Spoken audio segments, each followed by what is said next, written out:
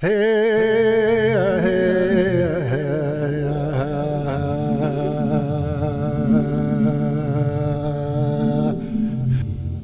sun, the moon, and the earth, the medicine wheel, the round dance, and the dream catcher.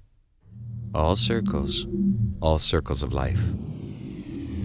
What goes up will come down. What you give away will always come back to you. In all things there is balance. For every right there is a wrong. For each of the sacred teachings there is a deceiver. At a time before distant religions and churches came with their teachings, their commandments, and their seven cardinal sins, we knew. We knew the way of the good red road.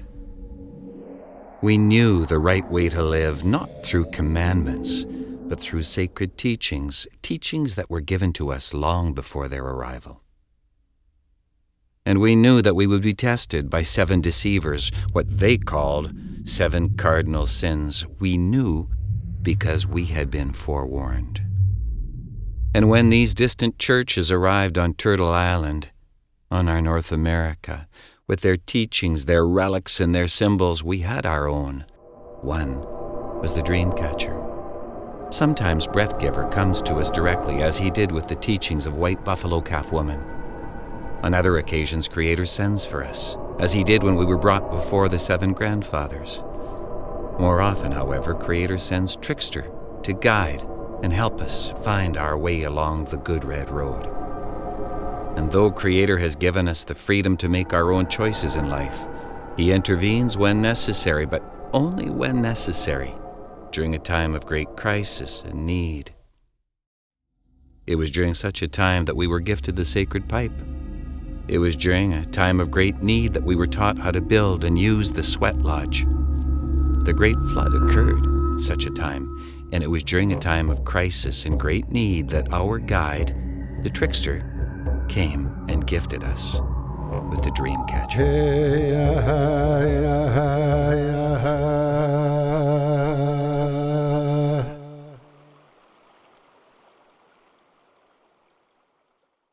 Long before our grandmothers were young, greed, corruption, and malice had taken hold of Turtle Island. It was at this time that an Anishinaabeg youth began the fourth day of his vision quest. As custom dictates, this young man had little with him a robe to fight off the cold, tobacco for offering, sweet grass and sage for purifying and cleansing. Pure of mind and heart, the youth sat on the bank of a dried out creek crying for a vision. His eyes were closed and his heart was open. An onlooker might have thought him alone, but he was not. Trickster was there next to him, whispering in his ear. The boy stood and began scanning the blanket of Mother Earth.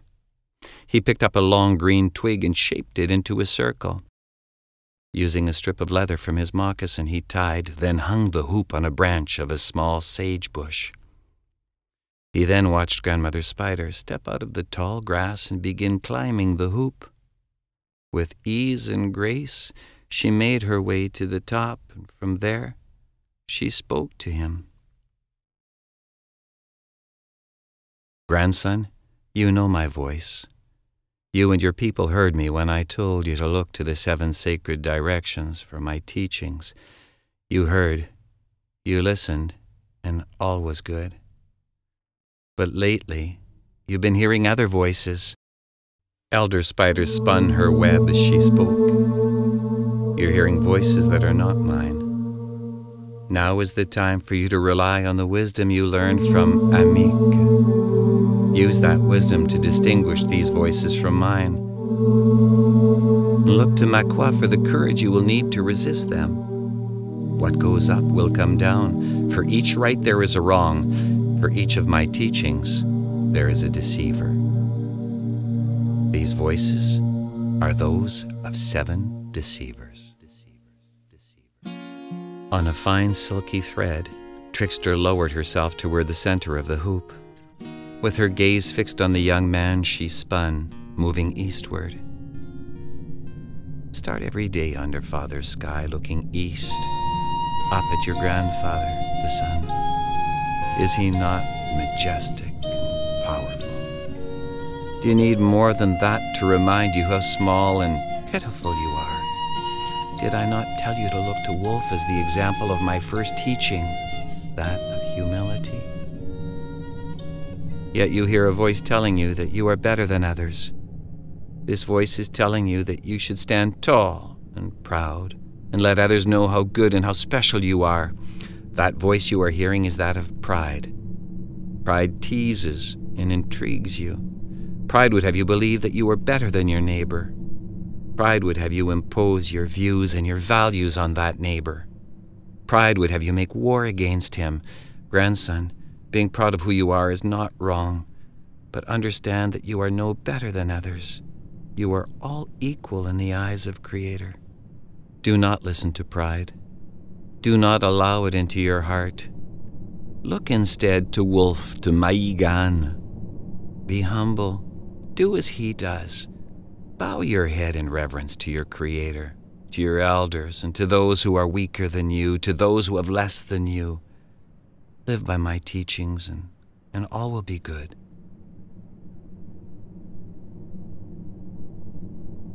Grandmother Spider continued spinning, moving southward. When you travel south, you will be in the prime of your life. You will be strong, capable, and wanting to achieve great things. On occasion, you will want for that which is not yours. Your desire will be so strong that you will lie, cheat, and cause hurt. The voice that you will be hearing is that of lust. Lust will drive you to want so badly that it will drive you insane to the point of doing things you would not otherwise do. Do not listen to lust. Be honest with yourself about what you have and about what you need. Look to Raven, Gagagi, who succeeds and thrives with what he has been given. He's bright, alert, and always conscious of the gift Creator has given him, he does not lust for that which is not his, nor should you. Be honest with others and with yourself. Do not lie, cheat, or steal. Know that you have enough. Be satisfied.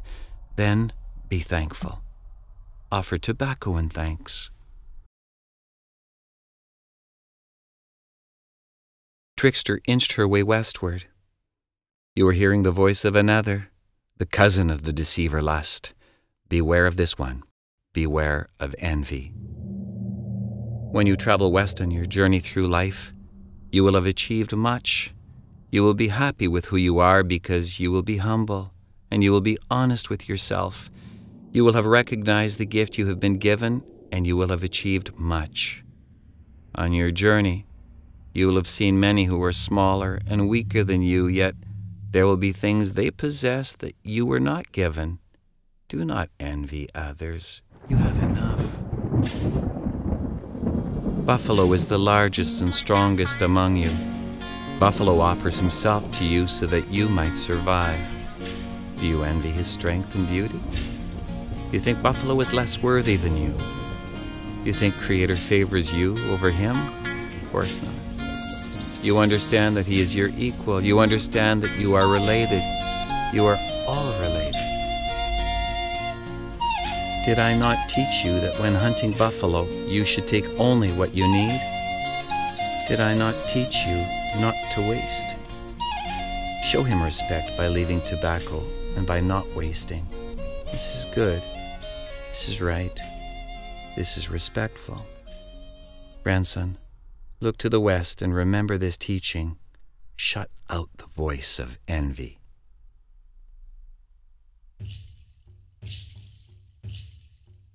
Can you imagine the destruction Makwa could cause if she chose violence, aggression, and wrath as her guides? She does not.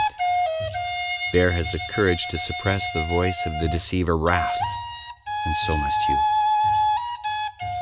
By the time you move north in your journey, you will have learned from wolf, raven, and buffalo.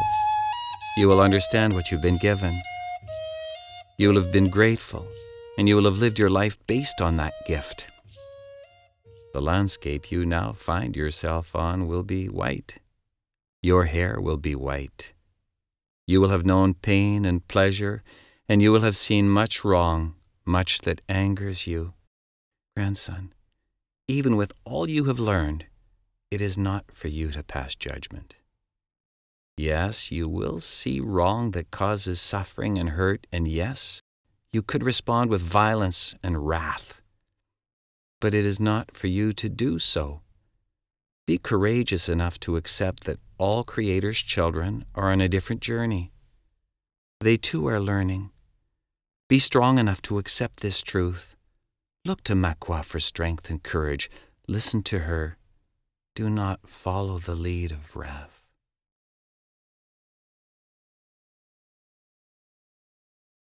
There is another among them, one whose name is Sloth. Sloth would lead you down the path of comfort and laziness. Sloth will tell you to lie back, relax, and do little with the gift you've been given. Shut him out. Look toward Father Sky and think of Amik. Learn from Beaver. You work as hard as Beaver does, and none understands the way Beaver understands that if she does not use the gift Creator has given her, she will die. Beaver must work her teeth constantly, or they will grow through, and she will die. Yes, she works hard, but she also has the wisdom to use her gift. So must you. Use your gift. Learn from Amik and shut out the voice of that deceiver sloth. Trickster's web appeared finished, yet she went on. Grandson, look down at Mother Earth. Look at her and listen to her heartbeat. Is it not the beat you hear in your own heart?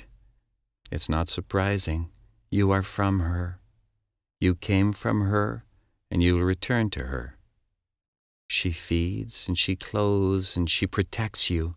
She provides you with everything you need and more. She is there for you to use, not to abuse. There is one who would have you take and take and take some more. Take of your mother, yes, but always put back that which you do not use. Always replace that which you have taken. If you do not, there will be nothing left for your children. Your mother has much to give you, yet when it is gone, it is gone for all time. This is true. Learn this truth and live by it. Look at Turtle as she moves slowly across the breast of Mother Earth. Think of Mother Earth as Turtle Island. Know that she has limits. Do not strip your mother bare of all she has. Do not deface or abuse her or soil her beauty. She has given you all she can and all she is.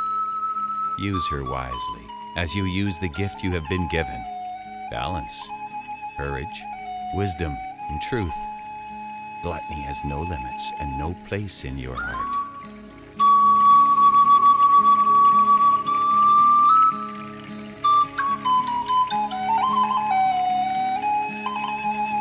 The wise old spider hung motionless in the center of the hoop, suspended by a single thread.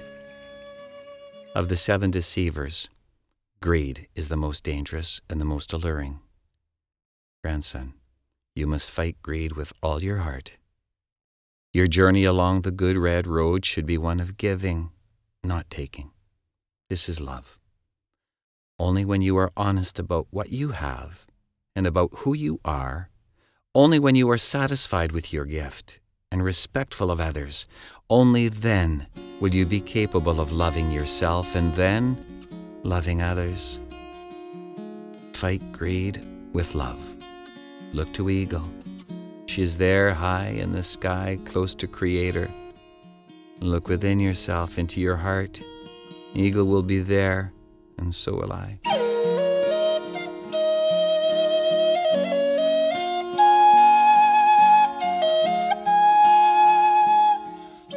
Grandson, take this hoop back to your village.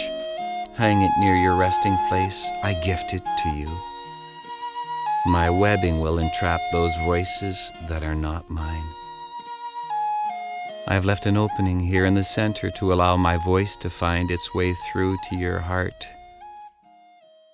And pointing at the young man's heart, Trickster lowered herself to the ground and quickly vanished into the sagebrush.